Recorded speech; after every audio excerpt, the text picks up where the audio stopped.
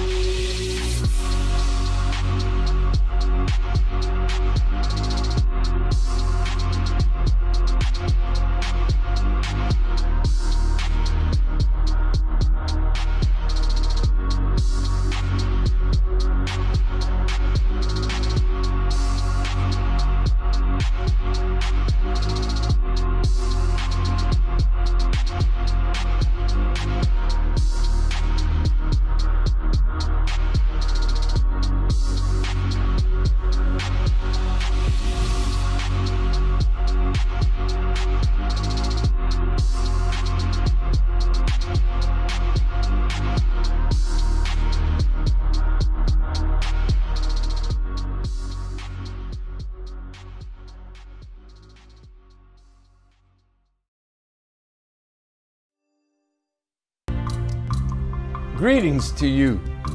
I am Minister Louis Farrakhan, National Representative of the Honorable Elijah Muhammad, that great preacher of freedom, justice, and equality to the black man and woman of America and the Western Hemisphere, and to the aboriginal people of the earth, the eternal leader of the nation of Islam and a warner to the government and people of the United States of America, and a warner to the nations of the earth. The Honorable Elijah Muhammad started learning and teaching of this great wheel called the Mother Plane around 1932.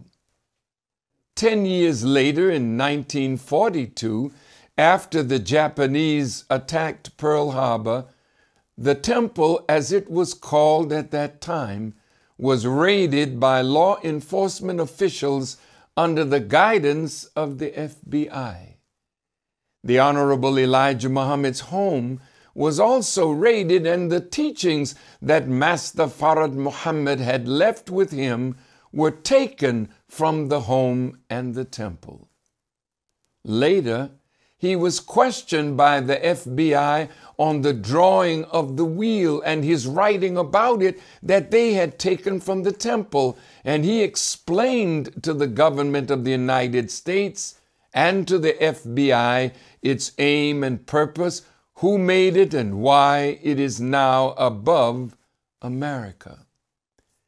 The Honorable Elijah Muhammad said it was a masterpiece of mechanics and engineering, and that nothing like this has ever been seen before. The Honorable Elijah Muhammad said it is the greatest military weapon ever developed in the annals of the history of Allah, God, and man in this universe. He said that the vision of this wheel was seen thousands of years before it came into being or became a reality. He said that this weapon was made for the purpose of destroying this present world in the final battle with the forces of evil that had ruled our present world. Some of the prophets were given the ability to envision it and were terrified and overcome by the majesty of such a dreadful weapon that was the greatest mechanical object ever made. A masterpiece developed by the Master to assert his mastery, that he had come to set down the tyrants that had ruled humanity for 6,000 years and to set justice in the earth, and to set up a kingdom of peace on this earth that would never be destroyed. The Honorable Elijah Muhammad said that this great wheel was made for military purposes, for it was to engage in the great battle in the sky that would end this world and usher in that world that the prophets exclaimed would come at the end of the 6,000 year rule of the enemy of Allah God and the enemy of the aboriginal people of the earth. Moses was guided and protected by this cloud that was a pillar of fire by night and a cloud by day, but no such wheel was in existence in the time of Moses. So, what we read of Moses and this cloud and fire and light coming from this cloud to part the Red Sea and destroy Pharaoh's army did not happen like that 4,000 years ago. But that was a prophetic, symbolic picture of the end of this world and the destruction of the armies of this world and the power that holds sway over the people. Again, this wheel that is sometimes called a chariot came down and picked Elijah up. That did not happen with Elijah the prophet, but Elijah in the book of Kings was a sign of the Elijah that would come at the end of this present world. So there was the chariot that picked up Elijah, and the cloud and the pillar that guarded and protected Moses, and the vision of Ezekiel of a cloud by day and a pillar of fire by night that was so dreadful that he cried out in exclamation, O wheel, O wheel. And the last person or prophet that a cloud or wheel is mentioned with is Jesus, but not the historical Jesus. Some of the disciples saw Jesus going away in a cloud or a wheel like plane. And it is written that the same Jesus that was seen going away in this manner will come back in like manner in the clouds of heaven. Well, men don't move about on clouds except in planes.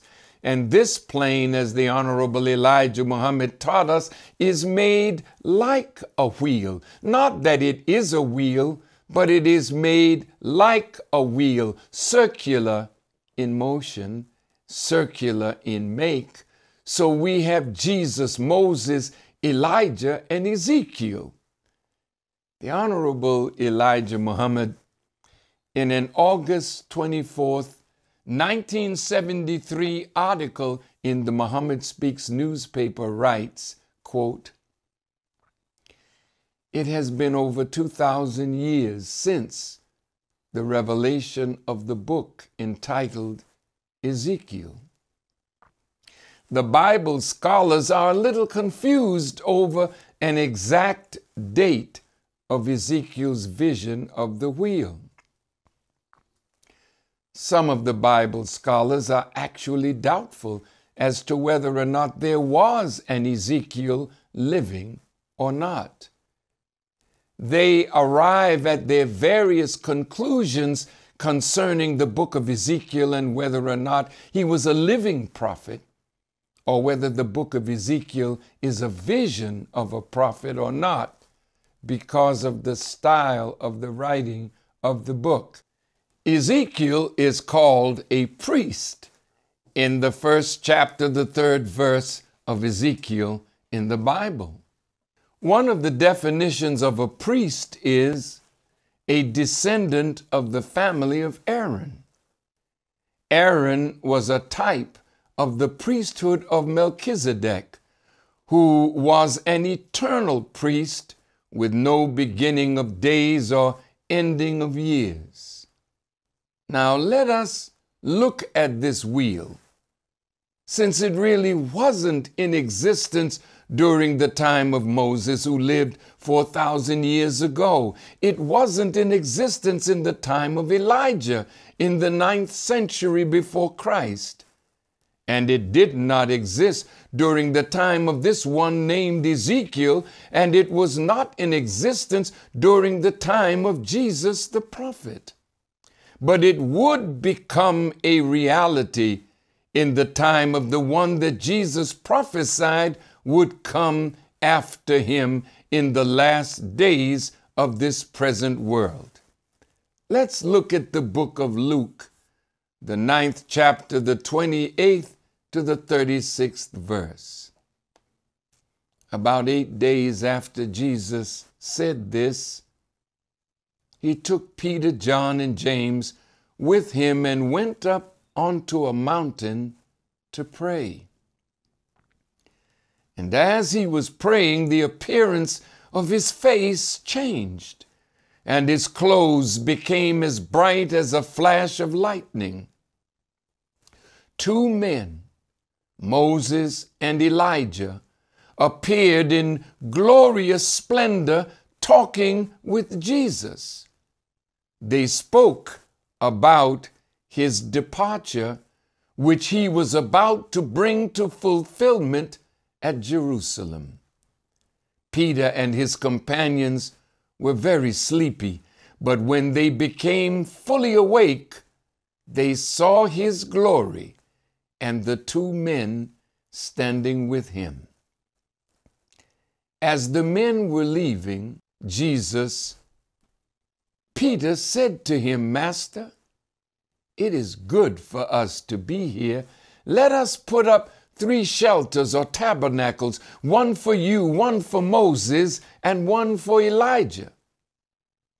While he was speaking, a cloud appeared and covered them, and they were afraid as they entered the cloud.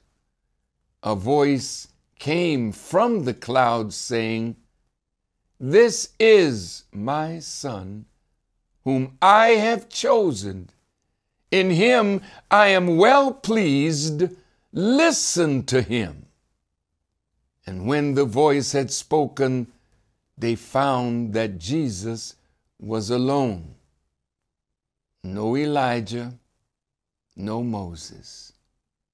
The disciples kept this to themselves and did not tell anyone at that time what they had seen. This episode is called Jesus' transfiguration on the Mount. What is the definition of transfiguration? It means a complete change of form or appearance into a more beautiful or spiritual state. Trans, the prefix means across, beyond, or through. Elijah and Moses prefigured not the prophet Jesus, but the great Messiah Jesus who would come at the end of this present world and the wheel would be with him. And this Jesus that is seen at the end of the present world is referred to in the language of the Son of Man. This transfiguration means that the figure of God came across the person and character of Jesus, so that God was sending Himself through Jesus to the world. So, this is the meaning of Messiah. It means a man in whom is the indwelling spirit of God Himself. Who is this Son of Man? This Son is born out of the longing of the original family to deliver them. Because all members of the original family have longed to be relieved from the oppressive hand of this new people who were made to rule that have come on our planet. Ezekiel in the Bible is also referred to as a son of man. So if there's a question as to whether Ezekiel, 595 years before the prophet Jesus lived, yet there had to be a man that had a vision of this wheel, but he was not the reality of the fulfillment of it. That would come at the end of this present world. The Son of Man the Honorable Elijah Muhammad said that this Son of Man represents the coming of God in person. But he's coming out of the direction of the east and he is journeying toward the west. Why should he come toward the west? Because it is in the west that the lost sheep or the people of Allah God would be that had to be delivered from a modern Pharaoh, a modern oppressor, and the one that would come up from them is the Jesus that the Jesus of 2,000 years ago prophesied of that would come in his name at the end of the present world. So the Honorable Elijah Muhammad says this great masterpiece of science and engineering and technology that the scientists of this world say that the technology that they have seen demonstrated in these wheels is millions of years ahead of themselves and what they know. So the Honorable Elijah Muhammad said the wheel was made on the island of Nippon that is now called Japan. He said some of the finest brains of the original people were used in making this greatest object of military science.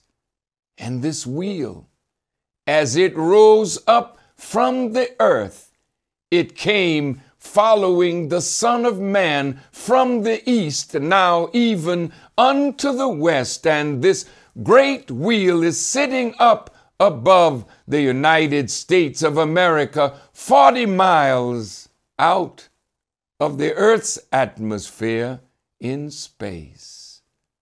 So the mountain that all these prophets went up into to get up to the wheel, it represents a powerful nation where the science and wisdom of that nation makes it the pride of the nations of the earth, like a great mountain. And above America is the presence of that great wheel, that great mother plane. I would like to discuss at this point the two natures of that great wheel or mother plane. Nature is defined as the basic or inherent features of something. You know, when Moses said to Pharaoh, I present before you this day two signs one of life, one of death, one of blessing and one of cursing. And he gave the people of Pharaoh and Pharaoh the chance to choose between life or death. And Moses encouraged Pharaoh to choose life that you and your seed may live. So it is with that wheel that is above our heads. When you understand the two natures of that wheel, then the government and people of America and the people of the earth have to choose now between life and death between blessing or cursing? So it was with Elijah. So it was with Jesus the prophet. Every time these men came, the kings and rulers and the people of that day had a choice to make between life and death. The Honorable Elijah Muhammad said that Jesus was the last prophet to the Jews.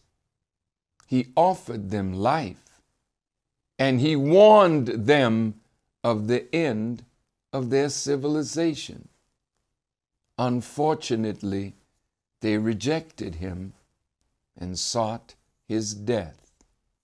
So today, in the time of the presence of the great Messiah, you are offered again the choice between life and death, between blessing and cursing. But first, I will deal with that nature of the wheel that brings death and absolute destruction. A destruction so terrible that it is written in the Bible that behold, the day cometh that shall burn as an oven, and all the wicked and the proud will be dealt with, and they will be as stubble, and God will root them out and leave them neither root nor branch. So terrible would his destruction be, and America would be like an oven. I'll talk about that oven at another time, but suffice it to say, the Honorable Elijah Muhammad said, the wheel was made for the purpose of the destruction of this present world. The armies of the world, the rulers of the world, the people that go along with wickedness in the world. That's death. The wheel comes in the time of Elijah, in the time of a great and dreadful day, a day with two different dispositions.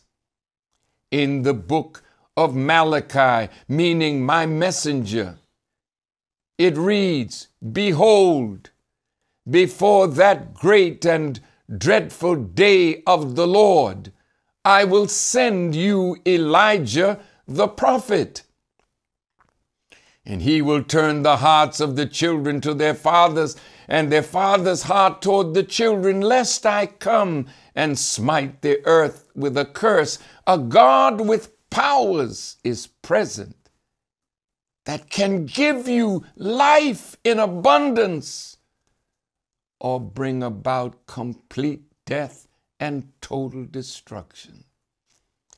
The Honorable Elijah Muhammad in a May 25th, 1973 article in the Muhammad Speaks newspaper entitled Ezekiel's Wheel, the Mother Plane, the Battle in the Sky, he writes, quote, The Bible and Holy Quran, both books refer to the final war between God and the devil that would be decided in the sky. The Caucasian people were given the authority and power and 6,000 years to rule us, the black nation of the earth. But at the end of 6,000 years, there would be a great time of trouble and a great display of the signs of this final war between God and the enemy of God, the devil. These signs would serve as a warning to us and what we may expect.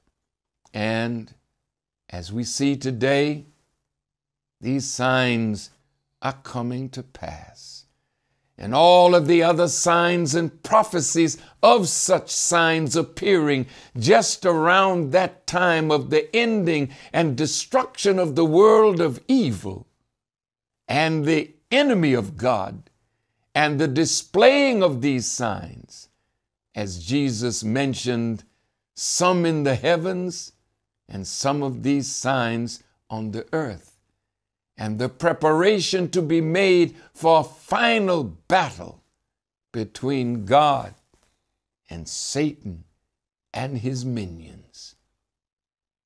The enemy has conquered both land and sea travel. The sea used to serve as a barrier against him, but now the enemy has conquered the sea. The enemy now can go over the surface of the sea in the worst of storms, and he can go through her with undersurfacing boats as well that you call submarines. And now the Caucasian has cast his eyes into space, to the sky, to conquer it. And he is doing that. The enemy having knowledge of what they may expect today, are spending billions of dollars on space travel. He has now brought the moon to him and has seen some of the stars. But the main thing I guess you are thinking is can he win against Allah God? If Allah, God, and His prophets have foretold the outcome of this battle of the sky. It is impossible for the enemy to win. What makes it impossible for them to win is because they have not the power of the forces of nature, while the power of the forces of nature is in the hand of Allah, making it impossible for the enemy, Satan, the devil, the wicked, to win in a war of this sort. No, the enemy cannot win against Allah God on earth. So why waste billions of dollars to fight against the God who has power over the heavens and the earth? The Honorable Elijah Muhammad continues in his writings and he asks the question why all of this hurry to try to ascend into the heavens for a close up peek into the planets when you are destined to be defeated? Both books, Bible and Holy Quran, prophesy of a great defeat for you. The Holy Quran refers to the heavens as being a guarded canopy and warns you that they have a flame waiting for you. In the Holy Quran, chapter 72, verses 8 and 9, it reads, And we sought to reach heaven, but we found it filled with strong gods and flames. And we used to sit in some of the sitting places thereof to steal a hearing. But he who tries to listen now finds a flame lying in wait for him now, this is directed to the National Security Agency of the United States government that has developed a way of listening in on everyone and everything. The universal snooper, as Almighty God Allah, through the Honorable Elijah Muhammad, calls him. But oh, NSA, you're trying to get a hearing on that uh, exalted assembly. but you find waiting for you a flame.